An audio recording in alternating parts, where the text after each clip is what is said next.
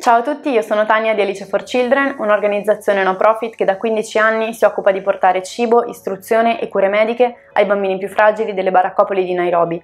Oggi vogliamo ringraziare Chiesa Valdese per il supporto che da anni garantisce i nostri progetti in Kenya, proprio nelle baraccopoli.